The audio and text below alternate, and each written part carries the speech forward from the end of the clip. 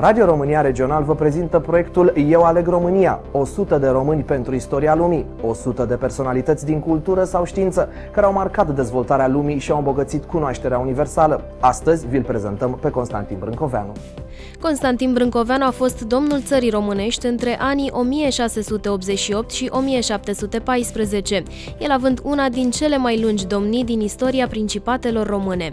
Faptul că a provenit dintr-o mare familie de boieri și că era nepotul domnitorului Șerban Cantacuzino l-a pus în situația de a moșteni și mai apoi de a spori o avere considerabilă, ceea ce a permis să susțină o politică financiară de independență a țării românești. Pe de altă parte, numeroasele sale proprietăți imobile, bunurile mobile și sumele de bani depuse la bănci din străinătate au și atras atenția reprezentanților marilor puteri care înconjurau Muntenia. Tocmai de aceea, Brâncoveanu a fost omul acțiunilor cumpătate. A evitat să se poziționeze decisiv în tabăra imperială austriacă, alegând să cumpere bunăvoința turcilor prin plata regulată a dărilor și prin bacșișuri vărsate chiar către însuși sultanul, căruia domnul țării românești îi trimitea regulat sume mari de bani dincolo de diversele forme de plăți tributare. Abilitatea sa de politician s-a văzut și în faptul că zeci de înalți funcționari de la Constantinopol erau plătiți de către domnitorul român pentru a fi înțelegători cu țara românească, ceea ce a adus supranumele de Altimbei. Europa, precum și astăzi, avea o, o zonă de margine foarte vulnerabilă.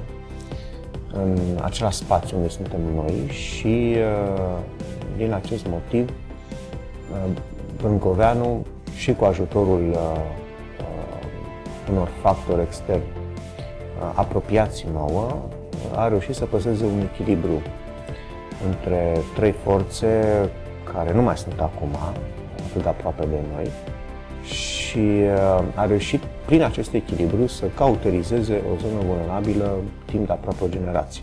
Constantin Brâncoveanu și-a depășit cu mult epoca, el întreținând o rețea de agenți și spioni în toată Europa, domnul Muntean fiind astfel informat asupra știrilor de pe întregul continent și informând la rândul său simultan taberele rivale. În ceea ce privește vecinătatea cu Moldova, domnul Muntean a intervenit în mod repetat în chestiunea domniei, în timp ce în Transilvania Brâncoveanu s-a situat în poziția în care a exercitat o importantă influență culturală, prin răspândirea de tipărituri și ctitorirea de așezăminte religioase. Ca urmare a inteligenței sale politice, țara românească a cunoscut o lungă perioadă de pace, de înflorire a culturii și de dezvoltare a vieții spirituale, dovadă fiind numărul mare de ctitorii religioase și stilul arhitectural eclectic ce îi poartă numele. Din păcate, pentru făgașul de dezvoltare a civilizației pe care mergea țara românească, în 1714, uneltirile unor funcționari din apropierea sultanului au dus la măzilirea iluminatului domn Muntean. Asta deși Brâncoveanu reușise să fie confirmat pe viață în domnie și reconfirmat succesiv de către doi sultani. Urmarea a fost că în aprilie 1714 Brâncoveanu a fost dus cu întreaga familie la Constantinopol, acolo unde a fost torturat pentru a ceda turcilor toată averea sa. Ca o ironie a turcilor, el a fost executat chiar în ziua de Sfânta Maria, împreună cu cei patru fii ai săi. Pentru felul cum au murit, cu toții sunt venerați de către Biserica Ortodoxă Română, care i-a canonizat sub numele de Sfinții Mucenici Brâncoveni în 1992. În 2014, cu prilejul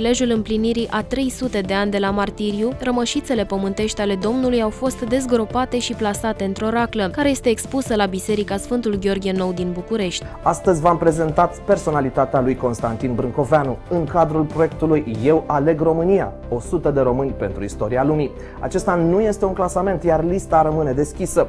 Așteptăm propunerile voastre pe site-ul eualegromânia.ro.